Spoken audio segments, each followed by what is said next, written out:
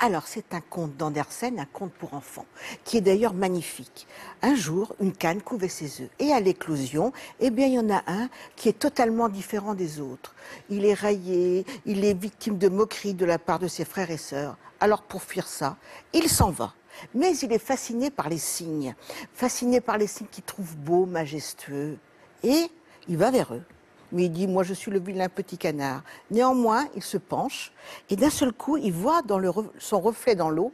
Et son reflet dans l'eau, eh bien, c'est un cygne. Et il se dit, mais je suis un cygne. Et donc, il se fait respecter par les cygnes. Et du coup, il devient merveilleux, de plus en plus beau, grâce au respect et l'adoption de la famille des cygnes. Le vilain petit canard était en fait un cygne, et on verra que les éclopés de la vie ont bien souvent une intelligence extraordinaire, et je pense que vous en faites partie. Et On il faut va- savoir aussi que le conte d'Andersen, le vilain petit canard, c'était au fond Andersen. Andersen, toute sa vie, a été rejeté, a été battu par son père, a été rejeté par sa mère, et il est devenu ce merveilleux conteur Andersen.